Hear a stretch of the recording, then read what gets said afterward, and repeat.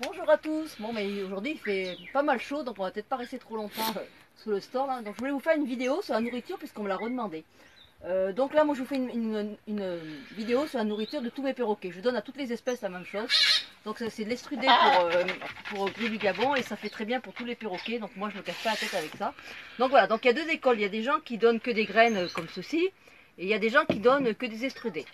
Les estrudés sont des, croquettes qui ont été faites euh, industriellement. Dedans, il y, a des, fruits, il y a des légumes, euh, il y a aussi des graines, et puis il y a un ajout de vitamines et, d'oligo-éléments. Donc euh, voilà, je vous montre.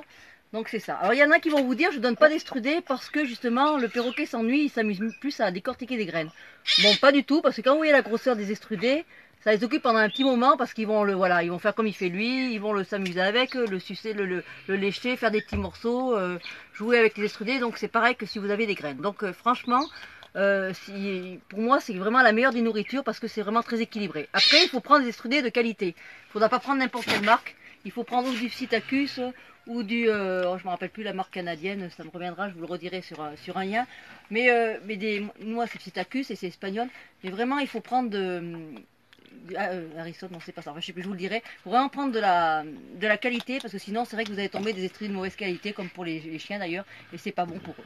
Donc moi je donne à peu près 80% d'estrudés et je donne 20% de graines, ce qu'on appelle des graines trempées. C'est-à-dire que moi c'est des graines pour tourterelles, hein, tout simplement. Vous pouvez acheter aussi des graines à germer euh, sur les sites de perroquets ou des graines à germer dans les sites euh, bio, pour les gens. Et ces graines-là, je les mets euh, tous les soirs à tremper, euh, à tremper dans de l'eau. Et je les rince tous les matins avant de les donner. Euh, pour pas qu'il y ait de champignons. C'est que si vous laissez euh, les graines tremper dans de l'eau euh, sans les rincer et sans changer l'eau, vous allez avoir des champignons et c'est extrêmement dangereux pour les, pour les perroquets. Donc vraiment, il faut, les, tren- les, les- il faut vraiment les rincer tous les jours, tous les jours, et, euh, avant de donner aux perroquets. Donc non, voilà, 80% d'estrudés, vous voyez, il se régale, d'ailleurs il préfère les estrudés aux graines, il va faire entre les deux, mais...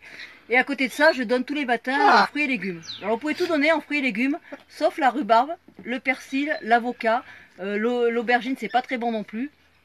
Tout le reste vous pouvez en donner, il n'y a aucun souci. Euh, vous pouvez donner cuit, vous pouvez donner cru, en petits morceaux, même écrasé en bouillie si votre perroquet ne mange pas en morceaux. L'essentiel c'est qu'ils aient fruits et légumes tous les jours, que ça soit frais et que surtout euh, vous les laissez pas plus de 4 heures dans les gamelles pour pas que des bactéries euh, se développent à l'intérieur. Donc dès que l'oiseau a fini, 4 heures après, vous enlevez tout et vous nettoyez les gamelles. Ça c'est très important. Toujours changer euh, les gamelles d'eau, de légumes, d'estrudés au moins deux fois par jour pour éviter tout ce qui est bactéries, virus et champignons. Ça c'est en prévention, c'est extrêmement bon. Donc voilà, et à côté de ça, vous pouvez donner, donc le matin je donne estrudé plus 80% estrudé plus 20% de, graines germées plus fruits et légumes. Et l'après-midi je redonne un petit goûter avec un petit peu d'estrudé pour, euh, pour finir leur journée. Euh, à côté de ça, vous pouvez donner des friandises. Donc il faut éviter euh, de trop donner hein, parce que c'est en- c'est souvent gras et protéiné.